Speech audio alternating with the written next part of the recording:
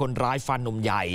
เข้าที่ขมับจนเห็นกะโหลกนะครับ แล้วก็เหมือนกับว่าแก้มเนี่ยฉีกถึงปากเลยทีเดียว ยังไม่หมดนะครับ คนร้ายฟันพวงสวรรค์ของผู้ตายเนี่ยจนขาดห้อยต่องแต่งเลยทีเดียวนะครับตำรวจไปตรวจสอบนะครับ นี่มีคนถูกฆ่าตาย บนถนนทางเข้าไร่อ้อยนะครับอยู่ที่ตำบลสักงามอำเภอคลองลานจังหวัดกำแพงเพชรนะครับ ตรงนี้เป็นถนนทางเข้าไปที่พิพิธภัณฑ์ เรือนไทยหุ่นพุ่มพวงดวงจันทร์ ห่างจากถนนไปประมาณร้อยเมตรครับ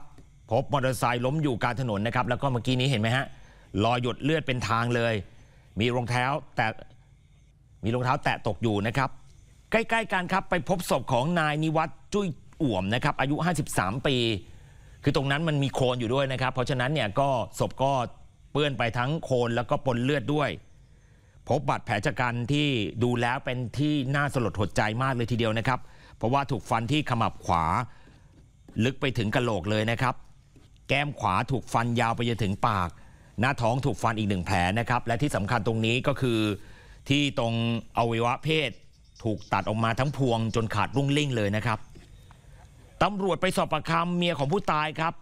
เล่าให้ฟังบอกว่าผัวเธอออกจากบ้านไปตั้งแต่ช่วงเย็น บอกว่าจะไปวัด เอาอาหารที่เหลือจากพระใส่ถังสีมาให้หมาที่บ้านกินจนกระทั่งสี่ทุ่มกว่าแล้ว ผัวเธอยังไม่กลับเลย ออกจากบ้านไปนานผิดปกติแล้ว ก็เลยออกตามหา จนไปเห็นมอเตอร์ไซค์ของผัวจอดล้มอยู่กลางถนนนะครับ แล้วก็เดินไปอีกนิดนึง ไปเห็นผัวเธอถูกฆ่าตายนะครับ เลยรีบวิ่งกลับมาแจ้งผู้ใหญ่บ้านแล้วก็แจ้งตำรวจนะครับ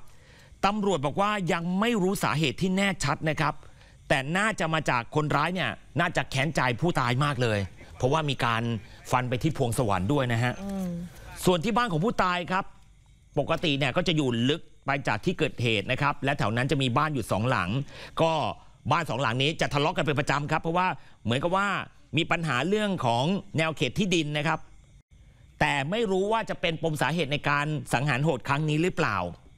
ซึ่งแน่นอนว่าตำรวจก็บอกว่ายังติดใจเรื่องนี้ว่าทำไมคนร้ายต้องไปเหมือนจะไปตัดพวงสวรรค์ของผู้ตายด้วย